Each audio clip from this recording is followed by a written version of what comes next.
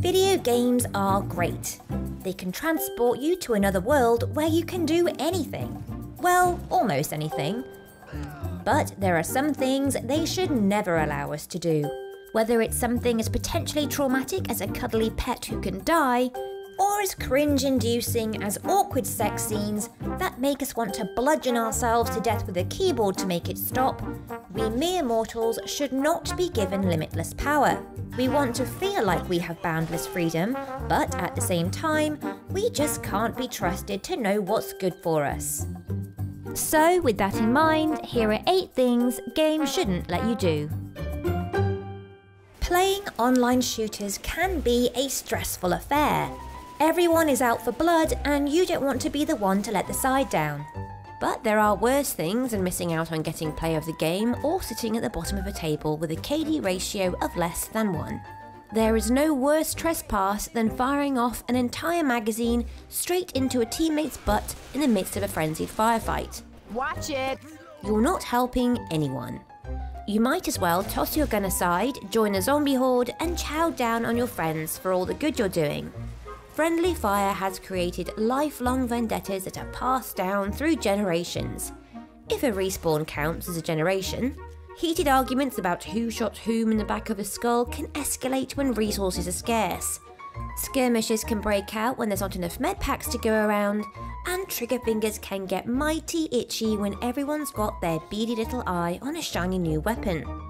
The point is, we can't be trusted not to accidentally on purpose mow down Janet because she took the last med pack when she knew that my HP was lower than hers.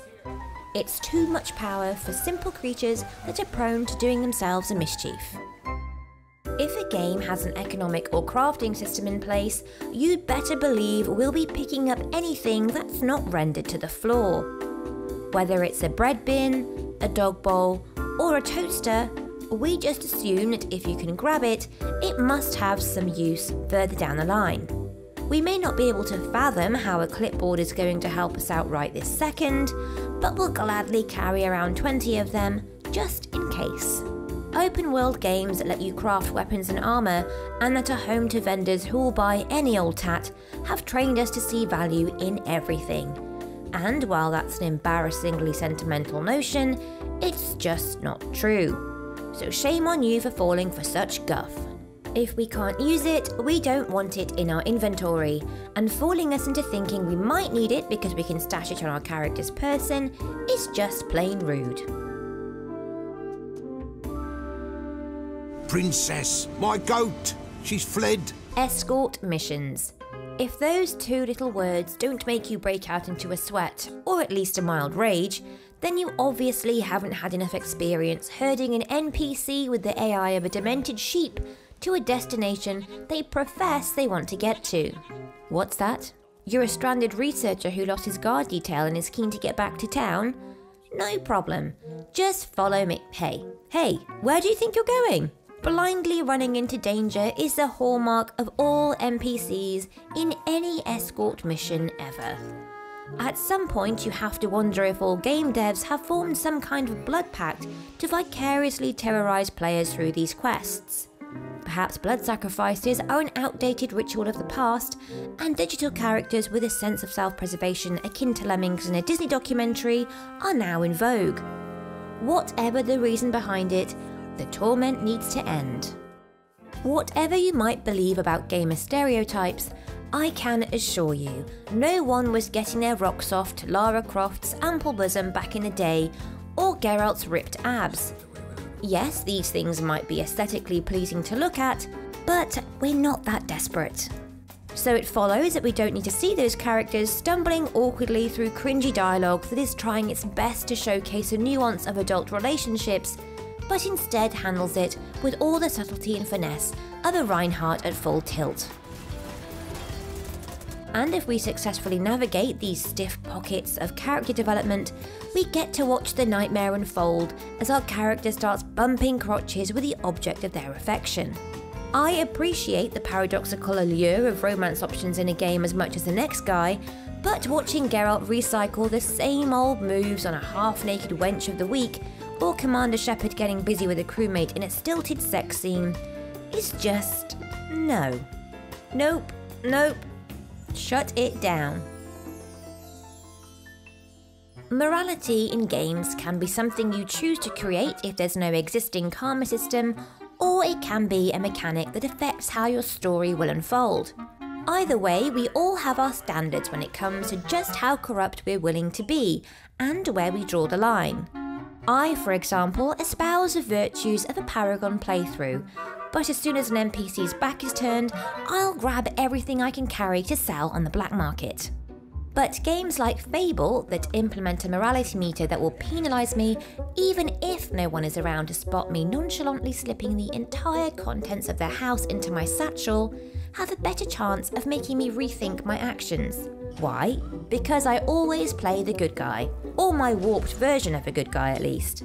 If there's a reward for an action, we'll be more incentivized to do it compared to if there was no reward or a penalty. So, games where we're awarded XP for killing innocent NPCs feed the more psychotic tendencies of those amongst us who love a bit of murder. Another innocent has fallen. Innocent? Huh. Consider it target practice. For there isn't a true innocent in all of Rivellon. Let's do away with XP for picking off easy targets and make people work for their progress.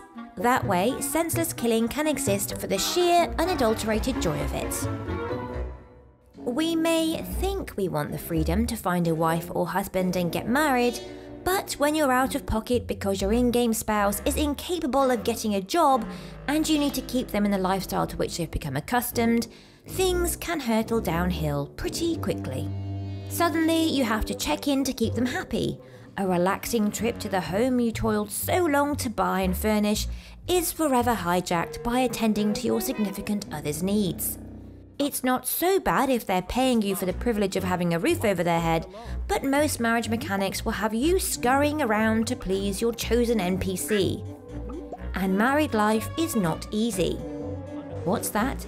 You naively thought that giving your true love a gift would be a nice idea? You silly goose. Don't you know that just makes them suspicious? It's a lose lose situation, and not unlike real life, a hell of a lot more trouble than you bargained for.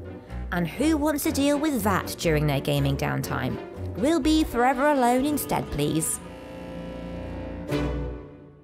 Much like marriage, at first glance, having an in game pet seems like a fabulous idea. They won't annoy you with the incessant nattering that comes along with an NPC companion. Some of them will pitch in by letting you access their inventory and store your stuff in there, and if not, having a majestic beast by your side is enough of a reason to drag one along with you.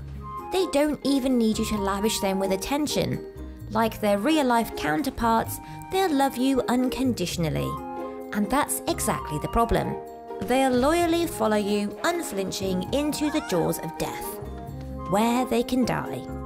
Unless they're immortal, we're not interested. Killing and maiming people is part of the job, but we didn't sign up to watch cute furry animals die. The fear of the consequences of your actions is something that exists in most games to some degree. Whether it's stirring up trouble in town, killing a shopkeeper you have no long term plans to use to pillage their inventory, or causing a ruckus and dealing with the popos. There are games that make you pay a bounty or go to jail to make amends, but for a lot of titles, all you have to do is pop out of sight for a few minutes and all is forgotten. You may have slaughtered dozens of civilians en masse, but slip down an alley and the police give up their search and get back down to the important business of eating donuts, presumably. They won't bother you again until your next mass murder, when they'll half heartedly give chase and you shake them once more by deftly slipping down a side street. Of course, we don't want to constantly be having to run away from the fuzz, but games like Assassin's Creed have found a middle ground with Templar awareness. When we cause mischief, we want to know that the world has been affected. Otherwise, where's the fun? All game mechanics have their pros and cons when it comes to how useful they are when implemented and how much they annoy us on a deeply personal level. Romancing aliens is great, but watching two characters judder and jerk their way through a night of passion is too much cringe for any one person to handle. And don't get me started on the trauma of losing a beloved in game pet. Let us know if there are any decisions games let you make that you think we'd be better off without. Like this video if you enjoyed it, and subscribe to Logitech G for more weekly content. Thanks for watching.